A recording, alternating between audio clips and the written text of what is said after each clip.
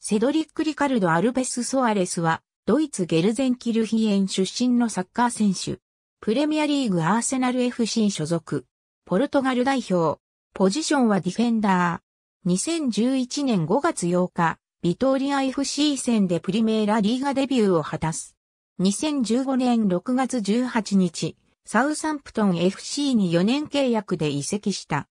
同年6月30日のフィテッセ戦で初出場すると、8月9日のプレミアリーグのニューカッスルユナイテッド FC でリーグデビュー、グラツィアーノ・ペッレのゴールをアシストする活躍を見せる。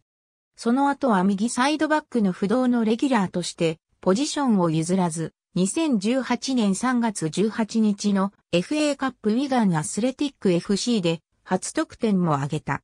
2017年夏には FC バルセロナも獲得に興味を示していた。2019年1月26日、インテルに買取オプション付きで期限付き移籍。2020年1月31日、アーセナル FC にシーズン終了までの半年間の契約で期限付き移籍することが発表された。2020年6月24日、ローン契約終了が間近に迫った中、アーセナルが完全移籍で獲得したことを発表した。ローン獲得時にセドリックは負傷しており、そのまま新型コロナの影響でリーグ戦が中断、さらにリーグ戦再開後すぐの練習中に顔を負傷したためアーセナルで一度もプレーしないままクラブは買取の決断をした。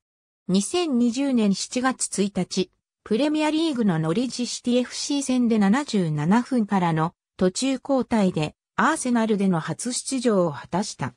さらに、81分には、ペナルティエリア外から、強烈なミドルシュートを決めて初出場からわずか4分で、アーセナルでの初ゴールも記録した。ありがとうございます。